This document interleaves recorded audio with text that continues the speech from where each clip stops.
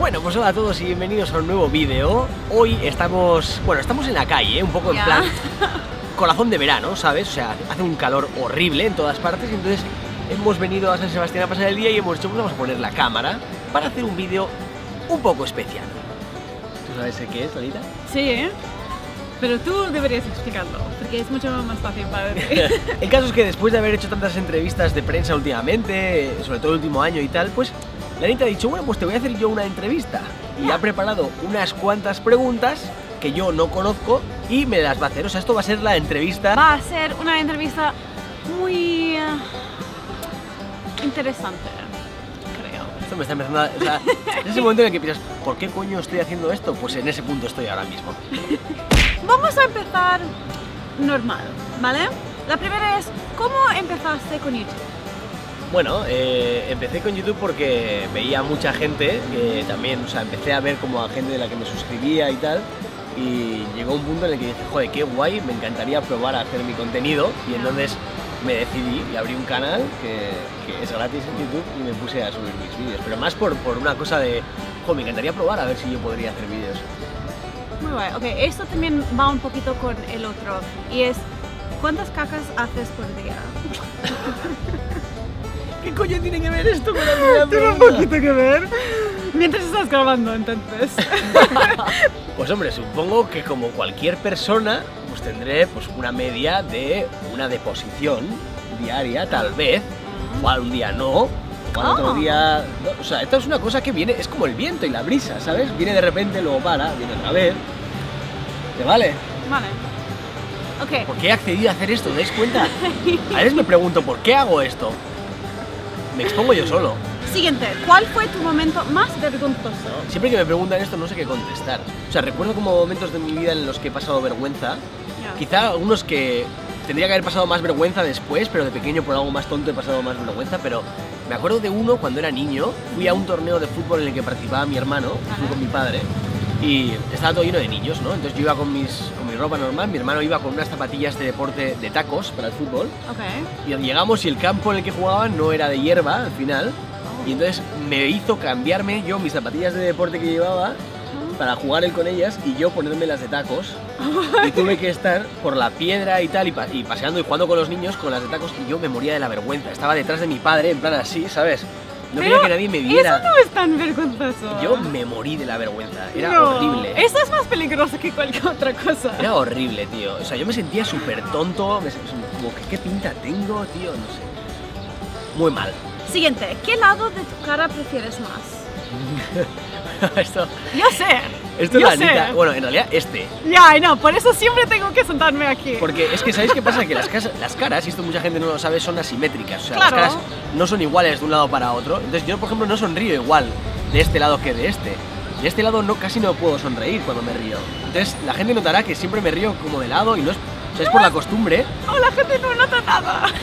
Pero no sé, yo estoy más cómodo con este lado. No sé por qué. Pero Ah, todo el mundo tiene un lado Ya, preferido. yo también tengo este lado, ¿vale? Pero te- siempre tengo que tenerlo es- escondido. La próxima es, ¿qué harías si un día te despiertas con una uniteta?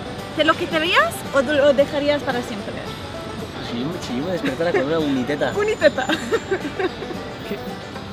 ¿Qué preguntas son estas? Pues supongo que si me despertara con una uniteta, pues a ver, me la tocaría un poco, ¿sabes? Porque cualquier tío haría lo mismo. Y después llamaría a un cirujano. Oye, tío, me, ha, salido una- No, no, me ha no. salido como un grano, o sea, que tengo que quitar. Un gato. Sí, me ha salido una cosa que me tiene que quitar. Pero lo de- entonces no lo dejarías. ¿Y, y cuando viajas estás solo puedes ir, no? ¿Por qué así? No, me arrancaría mi teta mutante del pecho. Joder, creo que me la quitaría. Eh, o sea, intentaría que nadie me viera nunca. Pero es posible que podría darte como superpoderes, cosas así, ¿sabes? Hombre, si fuera una teta cósmica que me diera poderes de otra galaxia, entonces claro, me dejaría mi teta cósmica. Pero como dudo que fuese una teta cósmica, me la quitaría. Gracias, Anita, por preguntas tan trabajadas y de periodismo tan profundo. Es muy troll hoy, no me está gustando nada. Esto me recuerda un poco a Luzu y Lana, ¿eh? Y esto no es por donde van los tiros. ¿Cuál es tu canción favorita para cantar en la ducha? No canto en la ducha, pero si me decidiese a cantar... No lo sé. Yo sé cuál es. ¿Cuál es? I wanna come back to Texas and os, voy a dejar, os voy a dejar un ratito con ella que parece que está muy animada, ¿sabes? Ok, dime en los comentarios si sabes qué canción es esta. Tú sigue cantando, ¿eh? I wanna go home. Sigue, sigue, que yo me uno por aquí detrás. No, estoy bien, estoy bien. Es- esta es tu entrevista, no la mía, ¿ok? Wanna go, wanna go. Oye, me están encantando estas preguntas, ¿eh? Anita está sacando como el lado más tierno que nadie conocía. Siguiente pregunta.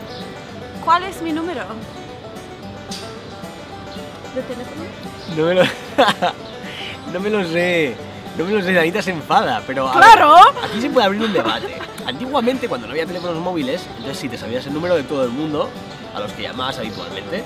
Hoy en día, teniendo un teléfono que tienes guardados los números, es absurdo. O sea, es absurdo tener en la cabeza No es absurdo. ¿Y si un día te pierdes tu móvil? Bueno, pues pedir ayuda haciendo señales de humo, lanzando una paloma mensajera, No. un dragón, si soy No. Khaleesi. Se enfada y es como que no me voy a, a aprender números, por Dios. Es una pérdida de memoria en mi cabeza. La memoria que tengo en la cabeza es limitada y no puedo borrar co- como el ordenador. Entonces, Why you gotta be so rude? Don't you know you meant you? ¿Qué piensas de tu pelo? ¿qué pienso de mi pelo? Se me está complicando mucho últimamente. Yo, mira, os voy a contar una cosa. Yo antes llevaba el pelo corto siempre y a los 19 años o así me lo dejé largo por primera vez. Entonces yo tengo el pelo muy liso, o sea, aunque no lo parezca ahora mismo, yo tengo el pelo muy liso y entonces la primera vez que me lo dejé largo, me lo dejé súper largo y, o sea, no súper largo en plan de aquí, sino súper largo en plan de aquí y era súper liso y a raíz de ahí cada año que, o sea, según me voy cortando el pelo y me crece, me voy cortando el pelo y me crece, se me va rizando de una forma horrible. Hasta el punto de ahora que es que a veces, o sea, si, si me lo dejo mojado, por ejemplo, y a su libre albedrío es un desfase asqueroso que me quiero dar fuego a la cabeza. O si voy a un sitio donde hay mucha humedad, por ejemplo, se me, no se me, es que no se me riza, se me ondula. Una cosa horrible por aquí, ¿no veis? Entonces, sí, a veces me, me gustaría raparme la cabeza y que le den por culo, pero no procede, porque uno no puede salir con cara de pene todo el día en la cámara, ¿sabes? No. Ok, ¿quién opinas que Luzu es demasiado exagerado? O sea, bueno. Conclusión, me gusta mi pelo, pero me encantaría tener mi pelo de hace 7 años. Ok, Ahí es donde sería feliz. Si fueras una chica, ¿qué estilo de ropa usarías? Espera, que tengo, tengo algunas aquí para enseñarte. Cute, kawaii, pantera sexy, ¿Pantera sexy?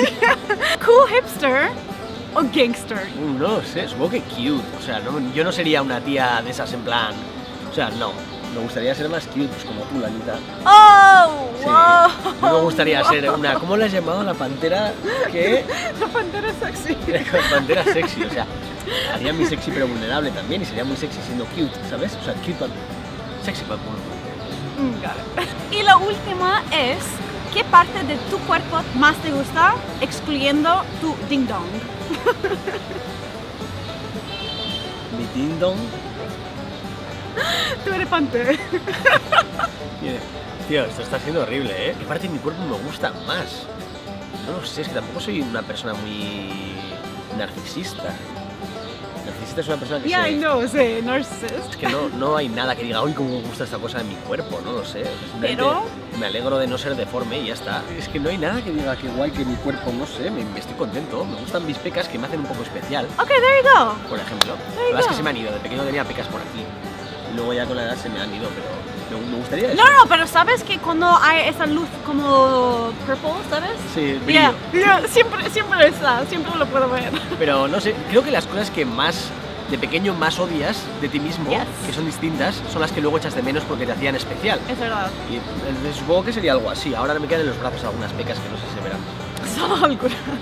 Pero sí, y si no me ding down. ¿sabes? Me ding- Has dicho ding down, ¿no? Muy bien. Qué asco, la madre de Dios. Pero bueno, eso ha sido todo por la entrevista de la Anita. Lo iba a ver la entrevista de la Anita, pero creo que voy a ver la entrevista Trolanita. Si te, si, te parece bien. Bueno, y si no te parece tan bien, porque después de hablar de mi ding dong y de mi teta cósmica, creo que he ganado unos cuantos ¿no? derechos a la hora de poner cosas en este vídeo. Pero bueno, okay. Espero que os haya gustado mucho. eh, era, bueno, para que conocierais una parte distinta, Yes. definitivamente distinta de mí, que no conocíais de otras formas, de la Anita. Así que nada, ahora podéis dejar en los comentarios pues, otras preguntas que se os ocurran, que, Yeah. Anita, que pueda hacerme en otra entrevista trolanita. eh, que no sean todas trolls, o sea, pueden ser cosas normales también. Y como siempre, os voy a recordar si no suscritos a los cualquier motivo que de la vida, podéis pinchar por aquí abajo que es gratis, o si no, aparecerá un entrevistador del periódico, tipo Rita Skeeter, Ajá. y os hará a buena pluma un montón de preguntas incómodas y horribles que tenéis que contestar así hasta el fin de los días. Moriréis de, de puro cansancio porque estas son las cosas horribles que ocurren en los cuando te suscribes. Ok. Así que muchísimas gracias a todos por aguantar estas chorradas otra semana más y nos vemos la que viene con más. No, no, no, eso aquí no, esto es Luzu Vlogs. Aquí no me pegas. No te tiro así al verde. No, no, Al no, verde no, no. You better think twice about that.